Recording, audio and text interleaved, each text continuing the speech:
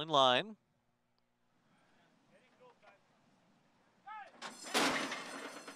They're off.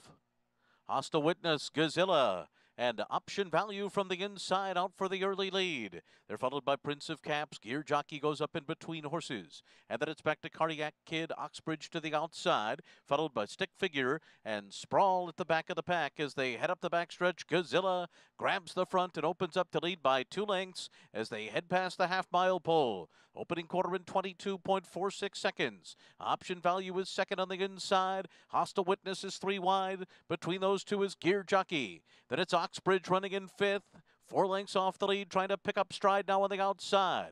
Cardiac Kid is next, and then comes Prince of Caps, followed by Sprawl, and the trailer is stick figure. It's Gozilla, who's got a four length lead as they come toward the top of the stretch. Ran 45.55 for a half, and Gozilla comes bounding home with a five length lead. Oxbridge is second, trying to close the gap. And then it's option value, followed by Sprawl. Prince of Caps is next. And then comes Cardiac Kid. But as they come to the wire, it's all Gozilla. And he's a monster. Won it by five. Oxbridge was second. Sprawl and Prince of Caps. Ah, Larry Collmus saying he is a monster. That was a monster-like performance from Gozilla. All alone in the stretch. He just opened up on this field. And, and we just saw a very special colt. This is a horse with a big future. He's got a pedigree that says he should go a bit further. He goes fast, but he goes fast easily.